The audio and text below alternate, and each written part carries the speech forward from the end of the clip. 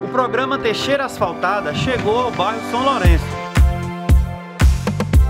Executado com recursos próprios da Prefeitura, o programa atua na infraestrutura de ruas com um alcance nunca feito antes na cidade.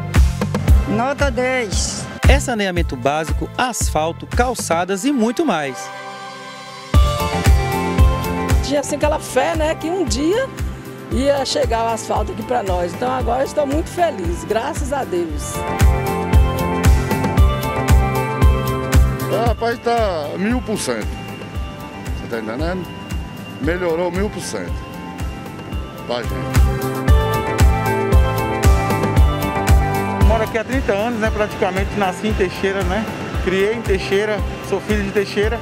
E depois de 30 anos é uma espera. Pra gente é muito gratificante um progresso desse chegar. Até o momento, 16 bairros já foram beneficiados com obras executadas e planejadas pela Secretaria de Infraestrutura e Serviços Urbanos.